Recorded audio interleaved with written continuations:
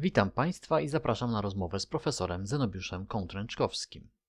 Zapamiętajmy, że pana profesora nie należy szanować za to, że jest stary, tylko za to, że jest bardzo stary.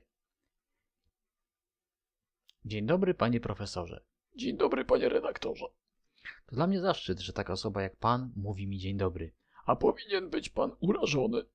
Ależ dlaczego nigdy A bo jest już, panie redaktorze, po dwudziestej. nie śmiałbym? Tak. Upadek zasad, jaki następuje, jest bolesny. Przejdźmy może do dzisiejszego tematu. Proszę.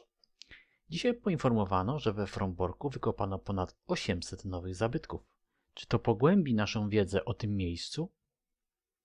Oczywiście, że tak, ponieważ kopano w głąb. Dziękuję za rozmowę i mam nadzieję, że spotkamy się przy kolejnym ciekawym temacie.